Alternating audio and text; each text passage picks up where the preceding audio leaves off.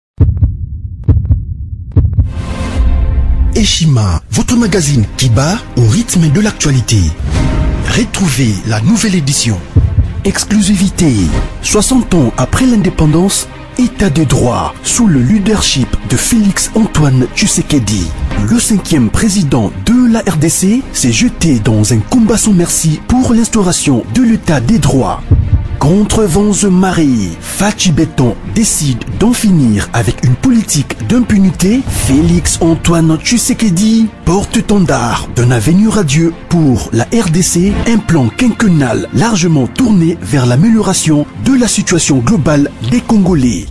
La gratuité de l'enseignement de base, l'amélioration des relations diplomatiques la sacralisation du Conseil des ministres, l'indépendance de la justice, le redressement de la RDC, focus au Katanga. Le gouverneur Jacques Kiaboula construit les routes du Haut-Katanga pour relever le défi du social et du développement. Le but est d'inonder Lubumbashi et les autres centres urbains de produits agricoles tout en baissant leurs prix. D'un territoire à un autre, Jacques Kiaboula déploie énergie, volonté dans l'exercice de sa fonction. Découverte, nommé directeur général Barnabé Mouakadi veut rendre la DGI plus performante. Dossier Eshima, l'église s'éloigne humiliée du village. Interview, porteur d'espoir dans la lutte contre Covid-19 grâce à l'artémisia, le docteur Jérôme Mouniangui juge son expérience en RDC. Nation Covid-19. Le ministre de la Santé, Eteni Longondo, fait une mise au point sur la gestion de la prise en charge des malades. Loi des finances publiques 2020. Le VPM e Jean de Maillot atteint ses objectifs. Économie. Jusqu'où ira les francs congolais Culture. Les TTLA. Tradition et histoire. Retrouvez l'intégralité du magazine Eshima dans les kiosques. Eshima Magazine un nouveau standard d'information.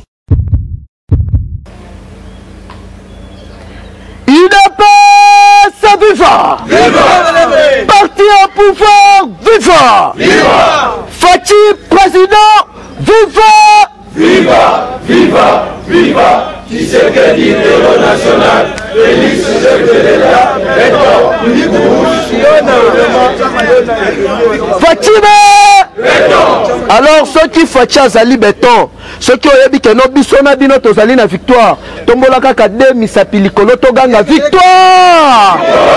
Victoire! Victoire! Victoire! Idepesa viva! Awa sikoyo ko comprendre que no FCC balelaka te basali nini? Lelo toko developper na des chapitres. Chapitre ya liboso na kolobela uniquement makambu oyo matali justice. Na justice on comprendre que notre commune niveau ni UDPS viva. viva. Parti au pouvoir viva. viva. Awa okolanda communiqué ya presse. Presse yango ezali presse ni communiqué de la presse de la police judiciaire de parquet. La police judiciaire de parquet a documenté plusieurs faits infractionnels et constituent cinq équipes d'inspection judiciaire qui sont à pied d'œuvre depuis deux semaines.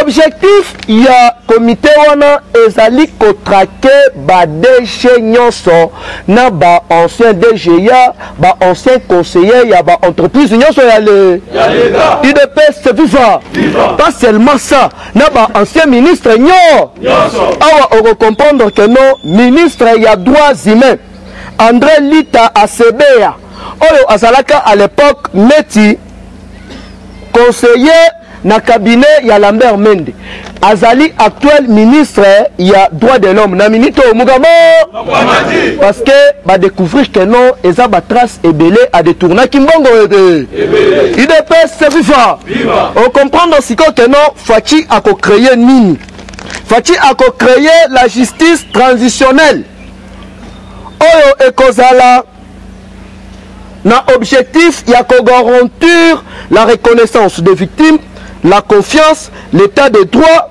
democratique, la reconciliation nationale.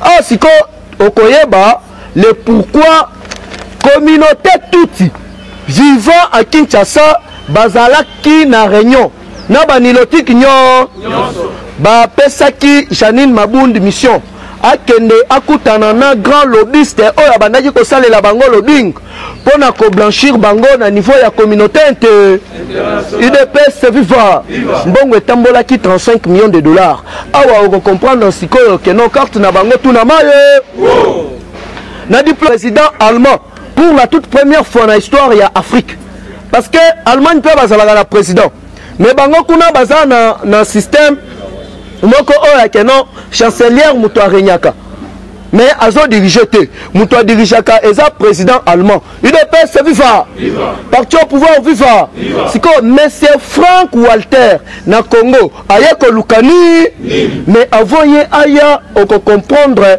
mozindo ya lisolo ya faci na tony blair oyo azalaka ancien ministre britannique udps viva parce que selon diplomatie ya états-unis na coordination ya bagrande puissance il faut oyeba ke non cle ya suka ya kodeboulone banilotique ezalaki epai ya tony blair parce que tony blair azalaka ancien premier ministre ya angleterre na 1990 termine ya kosala identification na République démocratique du Congo.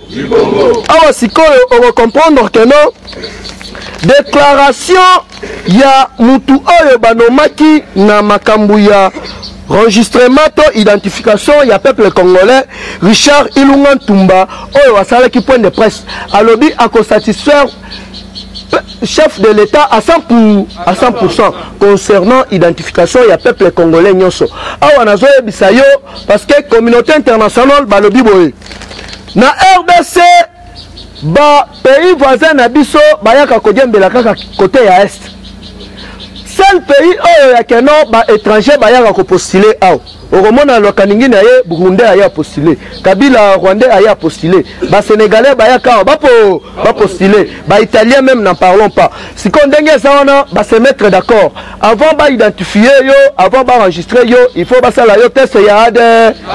Place tokoyeba sikoyo que non, qui est congolais, qui n'est pas Congo. UDPS viva. Parti au pouvoir viva. Tokobeta masolo na minute ofo oyeba ke non tambo mwamba akendaki deja kosenga nzela akende kose faire soigner na burundi mais comment se fait-il que non bino europe ekomeli bino nga ngai ocomprendre en dessous de carte mais ndenge ezali wana bapimelaka ye passeport te basali nini mais en entendant il faut oyeba ke non a bientôt lata mbongwa bademissionnaka te asali nini parce que lelo tozali le 40e le 8 lobi le 7 tambo mwamba coup de fil epai ya conseiller en matière sécuritaire ya chef de l'etat alobi alingi asuivre trace ya benoa loi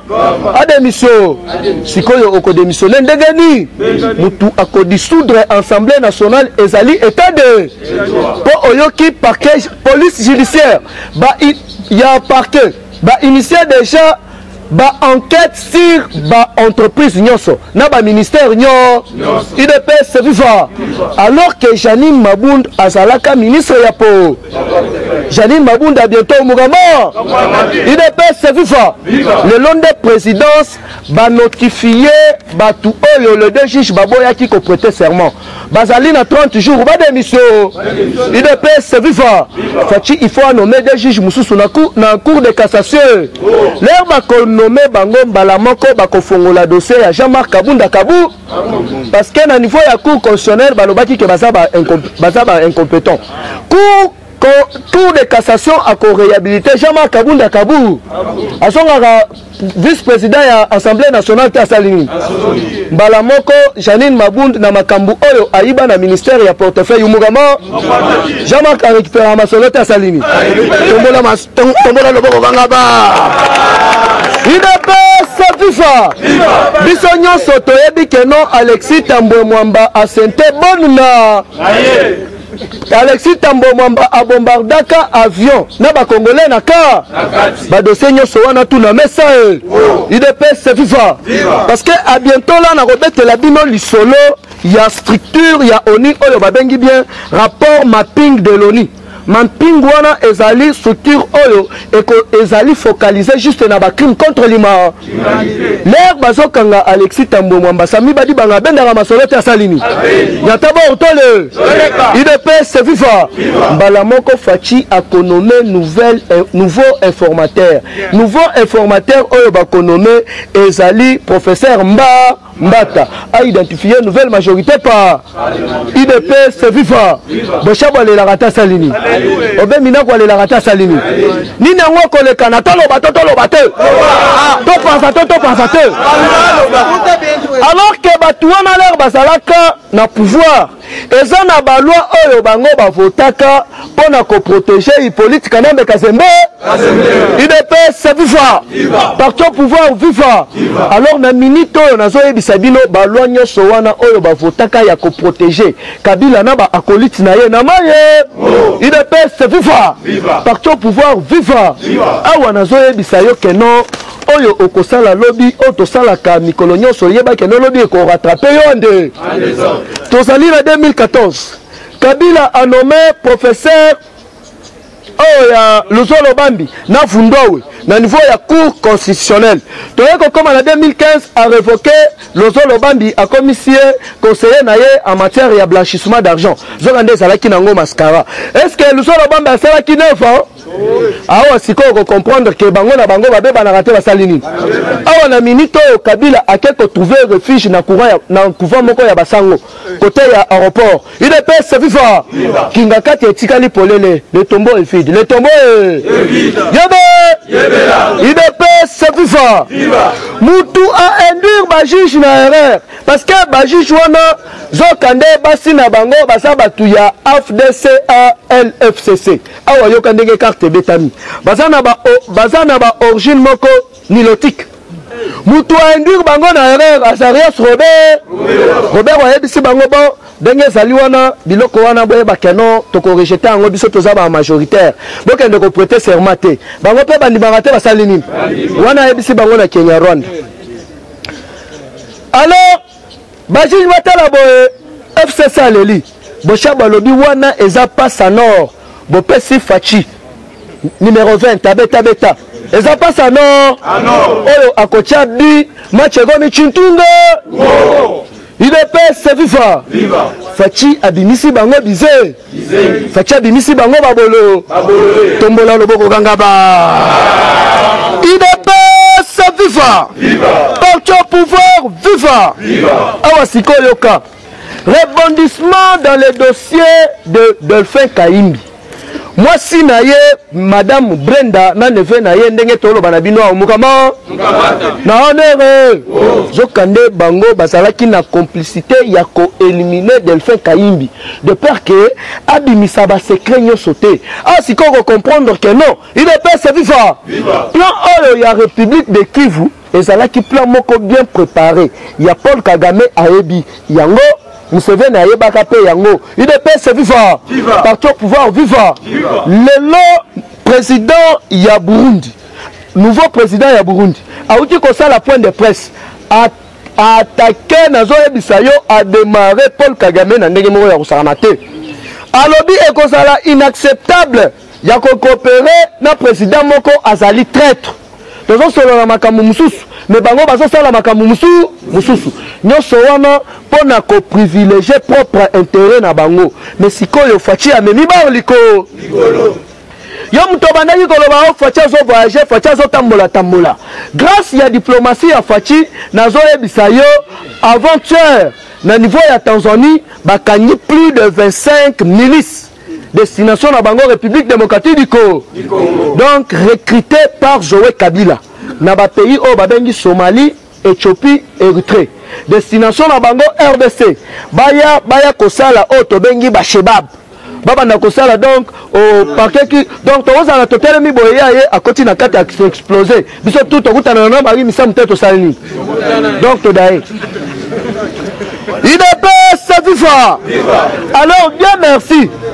Leur bazoya bazoya bakomi na niveau ya Tanzanie mbala moko mukama awa sikoyo il faut bazongisa bango na bamboka na bango bakende kosambisa bango nini yango ekolekana a bientôt là a bientôt là bokomona que non bakokanga plus de 40 personnes parce que Fatshi ba alerte déjà ba frontière na biso nyonso udps viva bapesi kombo ya 100 pardon 122 non membre ya fcc na communauté internationale na États-Unis da oyo bato wana ata na lufu bakokoma udps viva donc ndenge ezali wana ba frontière nyonso tout ya rdc ezali sous surveillance ya service ya migration alors que Nani ancien directeur ya DGM azali conseiller en matière ya securite ya chef de le ayebi batu wana mala yango boyokaki que non Emmanuel Shadari alingaki aboche akende Angola lere akomi kuna na ba frontière mbala moko mukama zonga kuna okeyi wa alors que il y a encore rebondissement Lelo bakangi un officier ya la police na sept officiers militaires na niveau ya Beni oyo bazalaki cites na massacre ya Kamwina sa balingaki bakima dejà bakota Rwanda mais na minute oyo okokimela wapi? Udps viva! Mokolo ya lobi bakangi mutu oyo azalaki charge ya ko recruter ba adf na niveau ya beni udps viva ndenge tozoloba na bino awa omukama atangi tous les trois gouverneurs ya est bazali na cop wa udps viva alors que bato wana baza na ba nationalité douteuse est ce que biso na congo congolais ya mondele azalaka obotama wa udps viva d'où comprendre que non Semaine prochaine bazo revoquer les trois gouverneurs ya est baya nanu na Kinshasa bakozonga to bakozonga te yebe idps viva parti au pouvoir viva awa sikoyo yoka ba enquête ya madame Judy Rêveur Judy Rêveur azali Journaliste ya munene ya mwasi na niveau ya Canada oyo asalaka ba investigation ya ba crime contre l'humanite ya ba crime de guerre pose na ba nombreux pays ya Afrique. Bazo travailler en collaboration na Université catholique ya Liège ya Belgique. Consultant na bango ezali ancien mutu cineaste oyo abandaki kosala ba documentaire oyo belge oyo je suis pas nkombo na ye michel henri udps viva sikoyo awa yoka rapport ya mapping ezali rapport oyo ezo revenir sur les crimes commis en rdc depuis 1993 jusqu'à 2003 sikoyo normalement wana ezali crime oyo ezali koenvisage uniquement paul kagame à l'époque oyo bazalaki na FRP apoza mpe ba crime ebele. Udps viva! Wana ezalaki na ebandeli ya guerre froide mpo na ko destituer Marechal Mobutu. Mais normalement ba crimes oyo ezo banda sikoyo awa bazo banda yango de 2001 kino 2018. Nini yango ekolekana? A bientot là okomona que non Fatshi azo creer structure ya sika na niveau ya justice. congolaise toloba to toloba te topanza to topanza te tombola loba kokanga ba udps viva parti au pouvoir viva facibe facibe félix tshisekedi a surpris le monde avec son projet de créer la justice transitionnelle l'objectif de la justice transitionnelle 1. La reconnaissance des victimes. 2. La confiance. 3. L'état des droits démocratiques. 4. La réconciliation nationale. structure oyo et a 4 mesures centrales donc structure oyo justice transitionnelle ekozala na 4 mesures centrales mesure ya liboso le procès public bato nyonso oyo baboma bakalev baboshab bakosambisa bango na stade de mort udps viva wana ezali mais nani parmi le quatre mesures centrales ya structure oyo faci akocreye oyo babengi justice transitionnelle le procès public wana mesure ya liboso sur quatre mesures deuxième mesure la publication de la vérité la publication de la vérité idps viva alors que boyebi bien que non depuis un certain temps ambassadeur ya états-unis d'amérique atwitaki alobi que non à bientôt la tempête arrive arrive vérité nini bakobimisa idps viva ya liboso bazali na filme nyonso ya assassinat ya Floribert Chebe bazali na filme nyonso ya assassinat ya Katumbe mwa ya Mamadou Nda UDPS viva parti au pouvoir viva ya liwa ya ya Laurent Désiré Kabi tokoyeba biso na bino mpo na nini Paul Mundabi oyo azalaka ancien directeur ya Grand Hôtel akufa mutu aboma ye Joseph Kabi udps viva wana eza eloko oyo ekobanda kotravaye na rapport mapping ya nations unis udps viva parti au pouvoir viva troisièmement na, na bamesure centrale tozali na la réparation des victimes Ba victimes nionso oyo ba connaita injustice, oyo ba connaita que non babomeli bango ba ndeko, il faut ba reparer bango epai ya regime criminel ya Joseph Kabila kaba kabange. Un criminel oyo azui kombo na biso udps viva! Viva! Quat, quatrième Mesure ezali reforme administrative na ba domaine nyonso. Je vous dis que non, ba entreprises na biso na ba societes na biso nyonso ezalaki pourri infiltré part les nilotiques et les rwandais bato nyonso wana na minite oyo bakozobima liba sikoyo na bareforme nyonso oyo oyo babengi bien na création ya structure oyo ya sika oyo babengi la justice transitionnelle Nazo yebisa bino que non, sima na yango ezali Etats-Unis da UDPS viva! Parti au pouvoir viva! Alors que ba experts na makambo ya justice, ba grands nyonso ya monde bazo cesse ya ko jeter ba fleurs epai ya mwana ya kondo Etienne Tshisekedi wa Mulu parce que ye moko azalaki docteur a en droit udps viva parti au pouvoir viva na minute oyo kaka na bic na papier na stratégie faci a récupéré cour constitutionnel kaka na bic na papier faci a, a, a récupéré cour de, cassa, de cassation udps viva awa oyebi eloko nini tokosala na bino avant recensement eloko biso na bino tokosala eza kovote nanu référendum oui ou non na changement ya mandat ya president de la republique na, na rd yango omonaki basile olongo apike bango deja ayebisi bango ke moto akoorganize baelection ya solo tshisekedi wa mulu akozala wana ntina 2030 nde manda na ye na liboso yeba idps fifa ler sikoyo fcc ayoki eloko wana bakomi agite tokobetela bino masolo oyo ya keno oyokaki oteno katumbi kuna babetaki masasi lukuta toloba to toloba te topanza to topanza te boyebi bien kabila na katumbi babandaki kokopere boye te alors na minute oyo balingaki base réconcilier base réconcilier mpo na nini basala force basala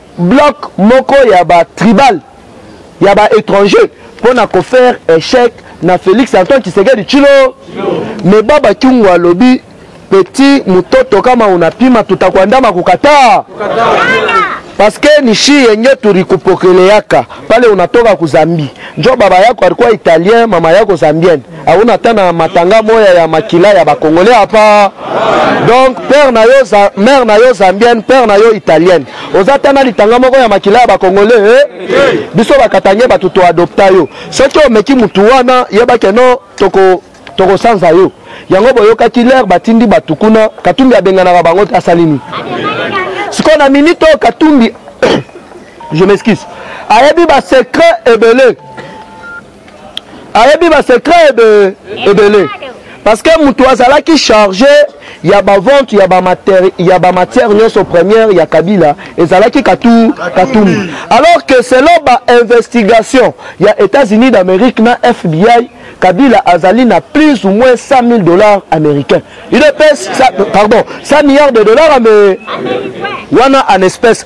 Kolongola nanu ba usine oyo aza nango partout. Awa sikoyo yoka. Mais Katumbi alobi ke wana ezali muke. Kabila aza na mbongo ebe. D'où parmi talaka mutu na ba investigation ya FBI aza actionnaire na na avion oyo babengi Emirats Arabes Unis. Aza actionnaire na Maroc Airlines.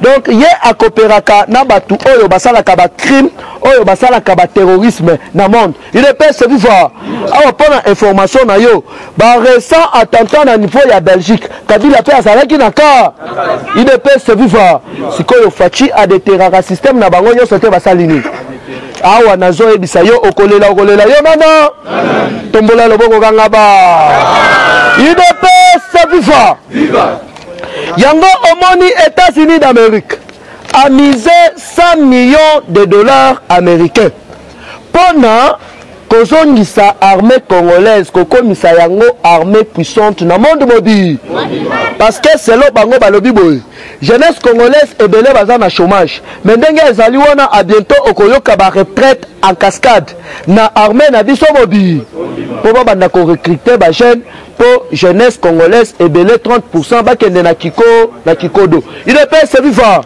tozokende na diplomatie lentement et sûrement place nazo chitele awa tokobetela bino lisolo ya entretien ya tony ya tony blair udps viva tokobetela bino lisolo ya tony blair ancien premier ministre britannique na Fatshi basololaki nini?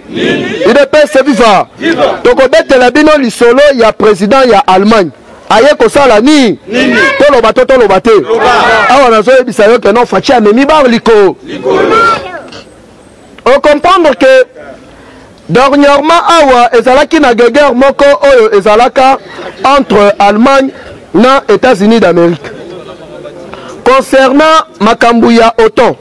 Premièrement nanu d'abord il faut oyeba politique ya otan eza nini et puis qui est Fatshi et puis nako chute na Allemagne à tenir envers Felix Antoine Tshisekedi Tshilombo oyo tobengi Frank Walter idps viva awa yoka Fatshi amemi bar likolo oh abandaki ko voyager abandaki ko voyager na mongo papa bino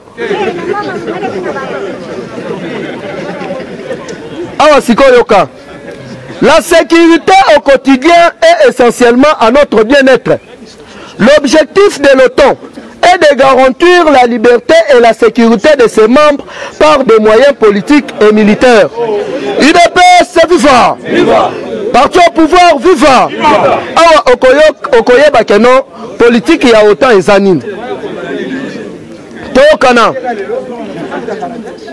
La politique de l'OTAN L'OTAN s'emploie à promouvoir les valeurs démocratiques et permet à ses membres de consulter et de coopérer sur les questions de défense et de sécurité, afin de résoudre les problèmes, d'instaurer la confiance et à long terme de prévenir les conflits. UDP, c'est vivant. Parti au pouvoir, vivant. Et puis, tu bien que non. Denge ezali wana rdc banda azala rdc banda Mobutu akenda president moko te atikala kosala stabilite ya rdc mutu ya liboso akosala stabilite na rdc ezali son excellence Felix Antoine Tshisekedi chilo awa sikoyo yoka place oyo Fatshi amemi bango Fatshi amemi ba liko tombola loboko ganga ba idps viva Meme. Meme.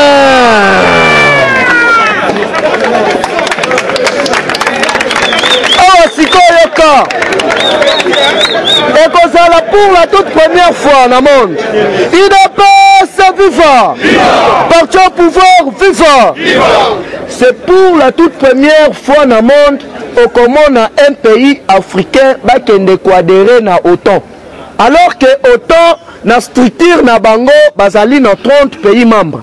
Tozali na Albanie, toza na Allemagne, Belgique, Bulgarie, Canada, Croatie, Danemark, Espagne, Estonie, États-Unis da France, Grèce, Hongrie, Islande, et puis na souk, et puis Italie, Lituanie, Luxembourg, Montenegro, Norvège, Pays-Bas, Pologne, Portugal, République tchèque, Roumanie, Royaume-Uni, Slovaquie, Turquie na Russie tozali na 30 membres pays y il a autant. alors que awa ça qui y non politique et OTAN la canine. l'OTAN s'emploie à promouvoir les valeurs démocratiques et permet à ses membres de consulter, de coopérer sur les questions de défense et de sécurité, afin de résoudre les problèmes, d'instaurer la confiance à long terme, de Prevenir les conflits. UDPS viva! Awa sikoyo ko comprendre que non Fatshi aza pena ya solo mwana wa muki. Tombola loboko kanga ba. UDPS viva! Avant na expliquer bino nanu dialogue to conversation ya Fatshi na Tony Blair ezalaki basé sur nini? Tikanga nanu nayebisa yo président ya Allemagne banda abotama udps viva parce que biso nyonso toyebi que non na europe pays oyo azalaka repute na makambo ya tribalisme eza ba allemand parce que bango baza race pure udps viva awa sikoyo okoyeba que non frank walter frank, frank walter setmayer na rdc aye koluka nini le chef de l'état attendu à kinshasa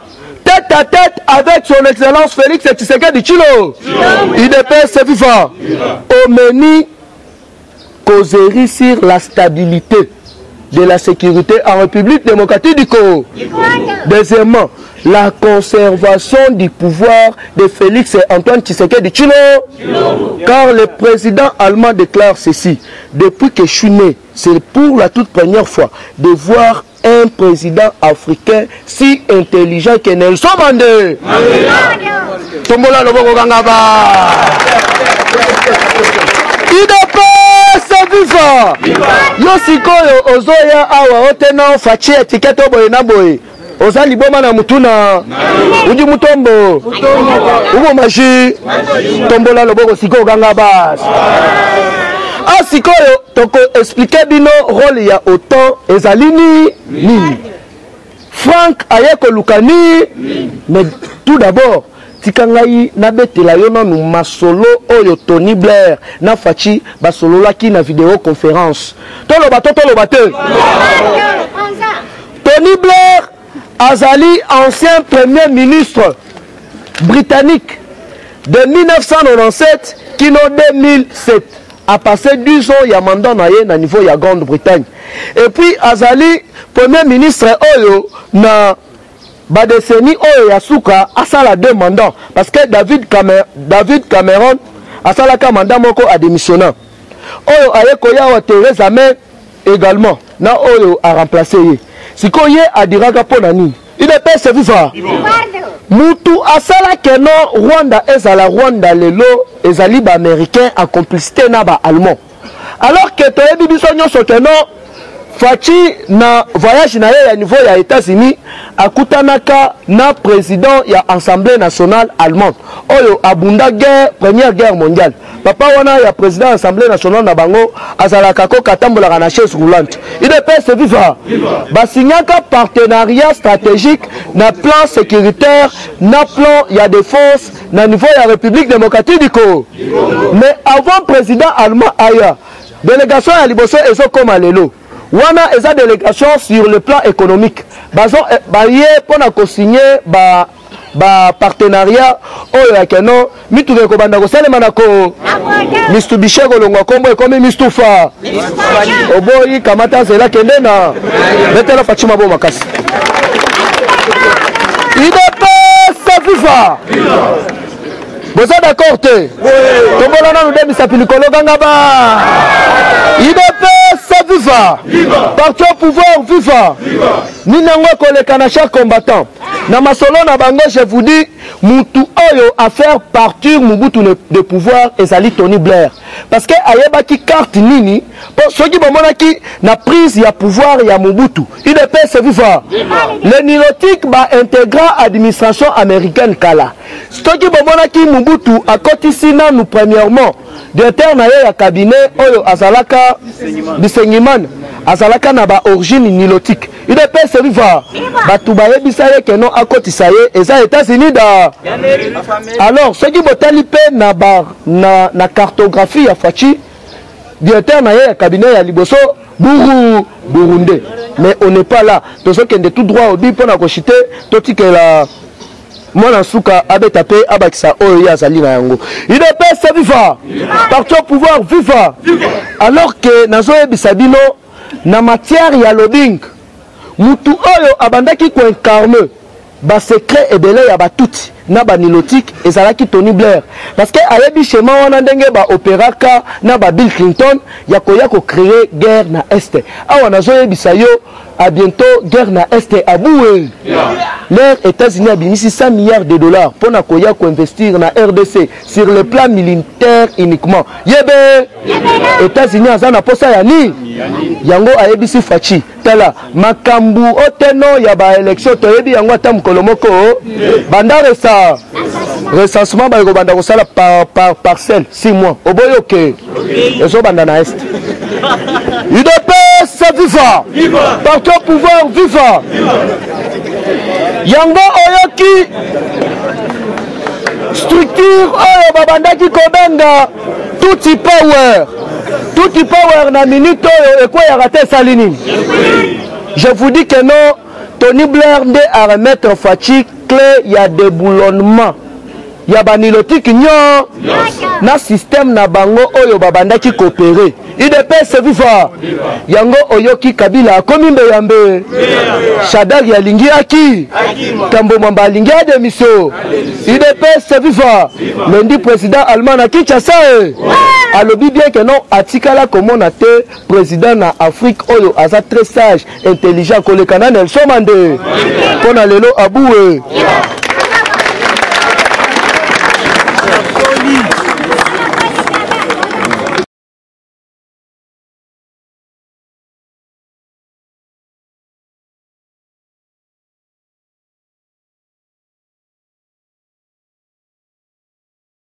conteneur yango tozosala adi londole feli ah mosengo feli tozosala conteneur bavoiture tozotina na kisasa bacarton ezokende kinshasa